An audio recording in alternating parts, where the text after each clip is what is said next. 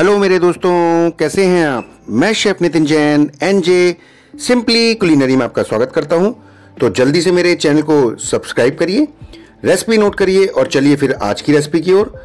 आज हम क्या बनाने जा रहे हैं? आज हम बनाने जा रहे हैं लेमन कर्ड जो आप जो फ़ूड टार्ट बनाते हैं, उसके अंदर पाई के अंदर प्रॉफिट रोल्स और भी किसी फीलिंग के साथ आप इसको यूज़ कर सकते हैं। ये मीठी और खट्टी दोनों ही स्वाद में होती है। और इसका स्वाद जो है वो आपको बिल्कुल अलग नज़र आएगा। तो चलिए फिर स्टार्ट करते हैं। बहुत ही आसान तरीका है, इसको बड़े आराम से आप बना सकते हैं और कोई काम करते हुए भी बना सकते हैं।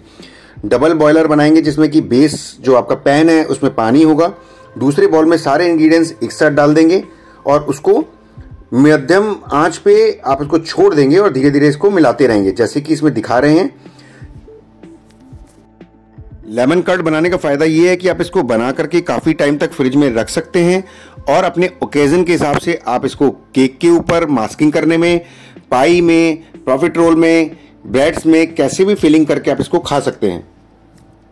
नॉर्मल घरों में जो चीज़ क्रैकर्स आते हैं, उसके अंदर भी जब ये फ्रिज में आप सेट कर देंगे इसको तो इसको आप पाइप करके उसके ऊपर सर्व कर सकते हैं बच्चों को अच्छी सी टॉपिंग डाल करके। इसका खट्टा मीठा टेस्ट सबको बहुत ज़्यादा पसंद आता है। इसको बीच बीच में विस्क की मदद से हिलाते रहिएगा।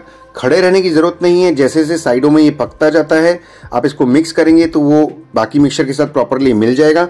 अभी तो इसमें ये बटर जो है सॉफ्ट होके मेल्ट हो रहा है और फिर धीरे धीरे जब अंडा पकेगा शुगर मेल्ट होगी तो इसका वॉल्यूम जो है, इसकी जो डेंसिटी है, वो बनेगी।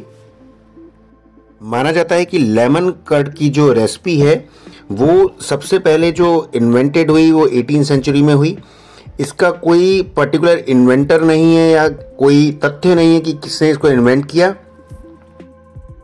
दूसरे तथ्यों की तरफ़ से माने तो इसका जो फ़र्स्ट प्रिपरेशन है वो इंग्लैंड में मिस्टर क्वेकर एटीन सेंचुरी में इसको इन्वेंट किया और अपने ट्रैवलिंग के दौरान वो जब नॉर्थ अमेरिका में पहुँचे तो 1774 में उन्होंने वहाँ पे इसको लोगों के साथ शेयर किया। और जो लेमन कर्ड है वो उत्तरी अमेरिका से बहुत ज़्यादा पॉपुलर हुआ क्योंकि उसके वर्जन बना दिए गए पाई में टार्ट में फीलिंग्स में and lot of things they develop एक बहुत अच्छी यूएस की जो प्रिपरेशन है की लेमन पाई क्योंकि वहाँ के लेमन जो है वो अच्छे होते हैं और वहाँ पे एक इन्होंने एक डिश इन्वेंट करी, एक डिज़र्ट इन्वेंट किया। उसमें लेमन कट का यूज़ किया जाता है बट जो की लेमन है वो वहाँ के पर्टिकुलर लेमन का जूस उसको यूज़ करके लेमन कट बनाया जाता है। अब अगर आप बॉल को देखेंगे तो धीरे धीरे इसमें थिकनेस आ रही है क्योंकि साइड में जो है वो अंडा पक रहा है, चीनी मेल्ट हो चुकी है और बाकी सारे मिक्सचर होने के बाद उसका जो डाइल्यूशन है वो बन रहा है। अब धीरे धीरे ये गाढ़ा होता जाएगा। और गाढ़ा होने के बाद जब आप इसको देखेंगे पूरा, इसमें अंडे की स्मेल नहीं आएगी क्योंकि आपने इसमें लेमन डाला हुआ है वेनीला एसेंस डाला हुआ है। दोनों चीज़ें डालने से वो स्मेल नहीं रहेगी। प्लस ये जब गाढ़ा हो जाएगा तो इसको जब आप ठंडा करने के लिए रखेंगे तो इसका नेचर टोटल ही बदल जाएगा। ये एकदम दही की तरह जमा हुआ हो जाएगा। दैट्स अ रीज़न हम इसको लेमन कट बोलते हैं।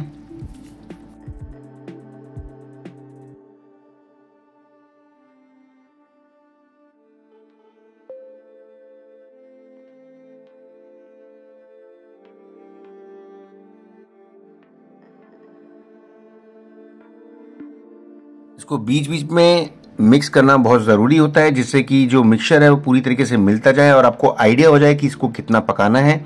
बट जब आप इसको पकाएँगे तो इसका जो गाढ़ापन है, जैसे हम दही फेंटते हैं, उसके जो थिकनेस होती है सेम थिकनेस इसके अंदर आएगी।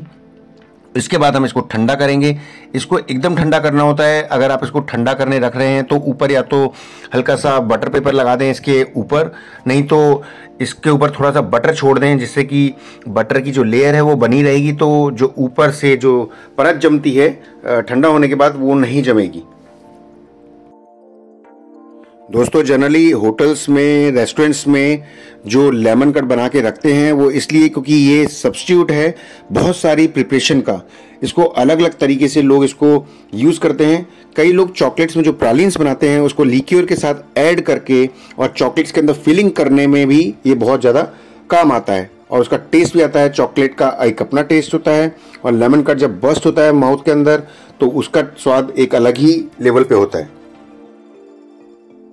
दोस्तों, मैं उम्मीद करता हूँ कि आपको मेरा ये छोटा सा वीडियो बहुत अच्छा लगा होगा। अगर मेरा वीडियो है तो आपका स्वागत करता हूँ। और उम्मीद करता हूँ कि आप मेरे वीडियो को ऐसे ही देखते रहेंगे। अब मैं आपसे विदा लेता हूँ। मिलूँगा मेरे अगले वीडियो में। तब तक के लिए धन्यवाद। NJ spend less, eat best.